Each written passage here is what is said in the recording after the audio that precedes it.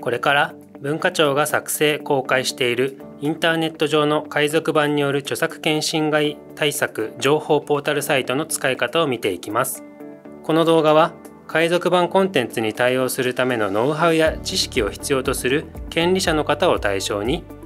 本ポータルサイトで公開されている資料の概要やその資料の基本的な使い方を紹介するものです。この動画では海賊版コンテンツによる著作権侵害を受けた個人クリエイターの方とその顧問弁護士との法律相談の様子を模擬した対話形式により初めての削除要請ガイドブック著作権侵害海賊版対策ハンドブックよくあるご質問の3点の使い方を解説いたします。先生いつもお世話になっております。本日もどうぞよろしくお願いいたします。こちらこそ、いつもありがとうございます。本日は、どのようなご相談でいらっしゃったのでしょうか？はい。先生もご存知の通り、私はフリーのカメラマンとして活動しているのですが、先日、私の撮影した写真が私に無断でコピーされ、転載されているのを発見したんです。それで、どのような対応ができるのか、えー、ご相談させてください。かしこまりました。無断転載による著作権侵害に関するご相談ということですね。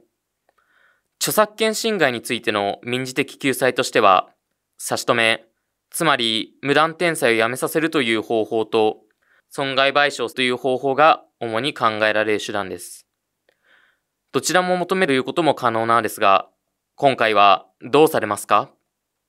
そうですね。無断転載した人に損害賠償までしたいとは考えていませんので、差し止めの方法を希望します。かしこまりました。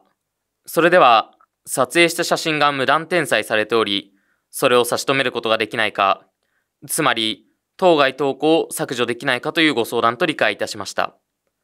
早速ですが、撮影された写真と、それが無断転載されている投稿を見せていただけますか？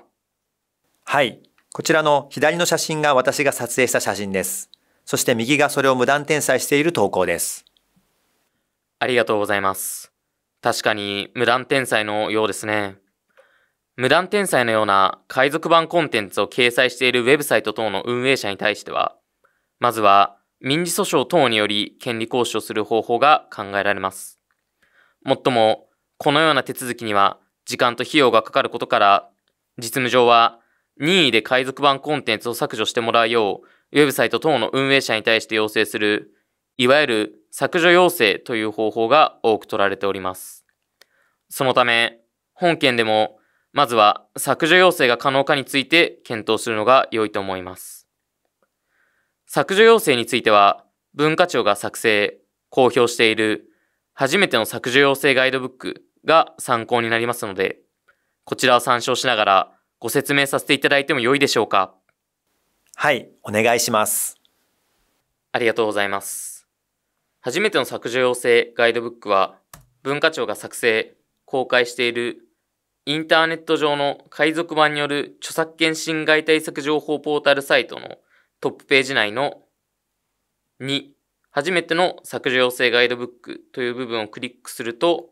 リンク先のウェブページへ飛ぶことができ、さらに初めての削除要請ガイドブックという部分をクリックすると、ガイドブックをダウンロードすることができます。ガイドブックの2ページに記載されている通り、削除要請には、1、ライセンスの有無等を確認。2、削除要請通知の作成と送付。3、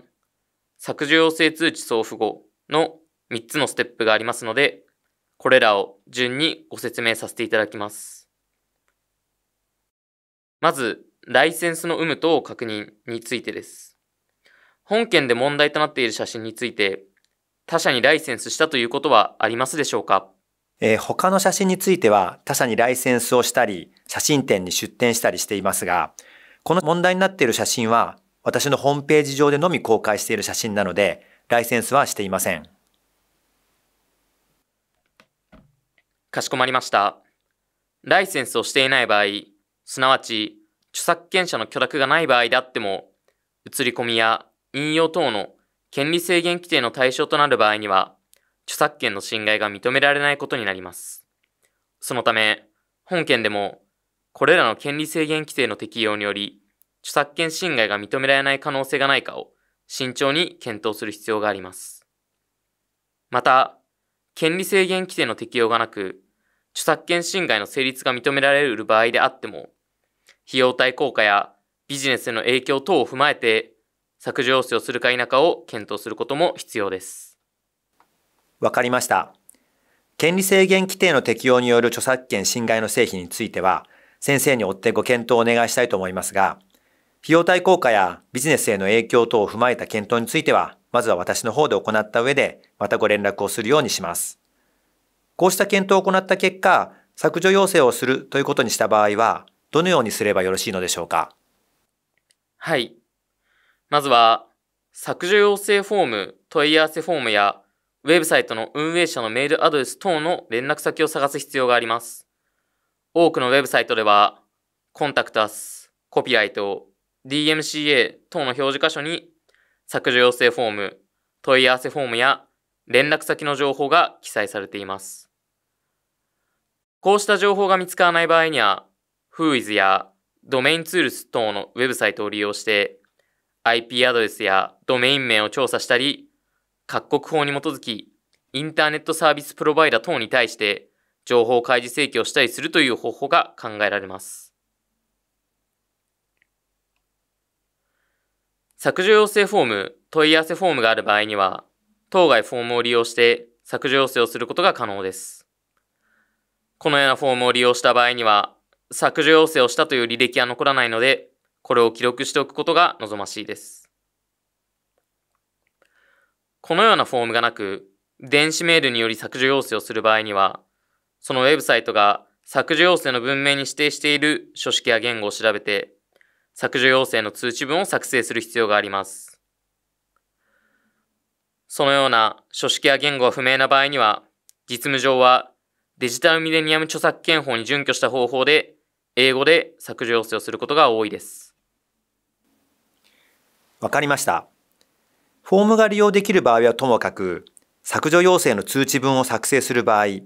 特にデジタルミレニアム著作権法に準拠した方法で英語で通知文を作成するというのは、ちょっとハードルが高いように思うのですが、何か参考になる書式等はないのでしょうか？ガイドブックには削除要請の参考書式が掲載されており、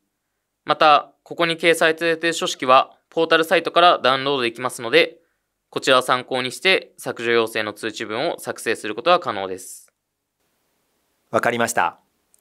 削除要請の通知文を送付した後の流れや、削除要請の注意点についても教えてもらえますでしょうか？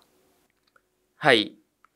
削除要請通知の送付後は、著作権の帰属や権利侵害等に関する情報を提出し、ウェブサイトの運営者による審査、削除を待つことになります。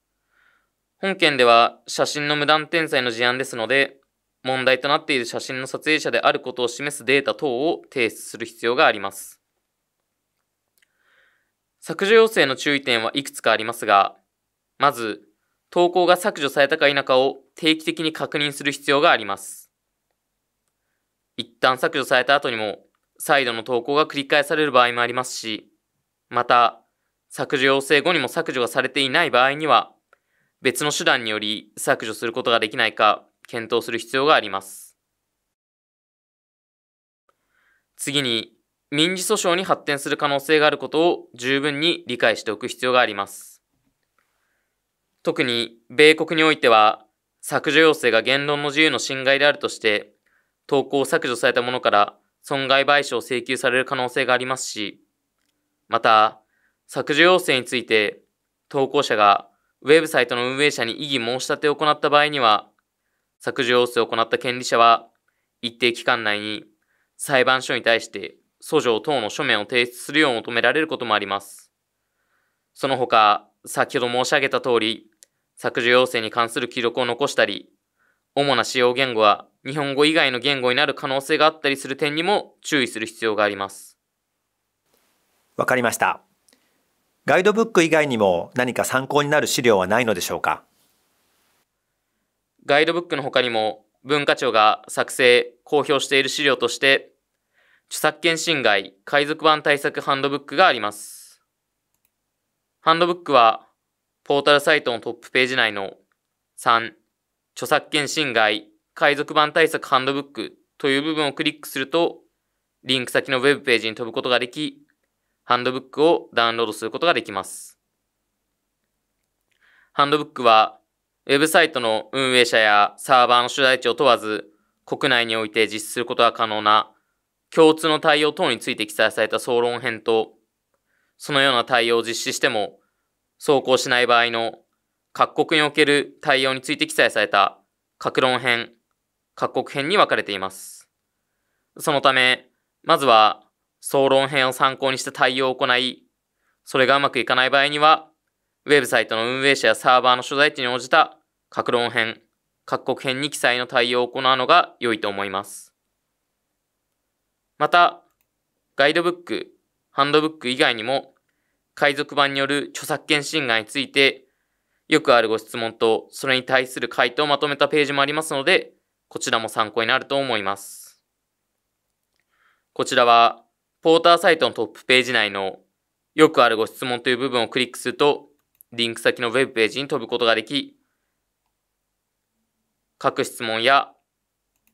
それに対する回答を確認することができます。キーワードやカテゴリーでの検索も可能ですので、気になる点について簡単に確認することが可能です。ありがとうございます。先生のおかげで海賊版対策に関するノウハウ、知識についてよくわかりました。海賊版コンテンツによる著作権侵害を受けた個人クリエイターの方とその顧問弁護士との相談の様子を模擬した対話形式により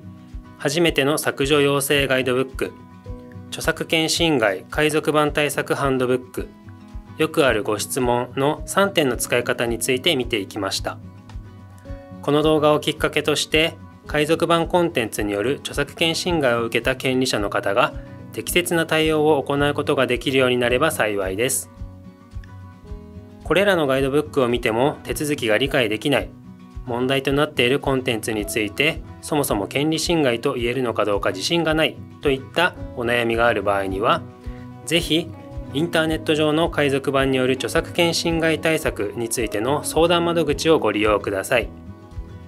この動画の他に相談窓口の利用方法に関する動画も公開しておりますのでそちらを合わせてご確認いただけますと幸いです。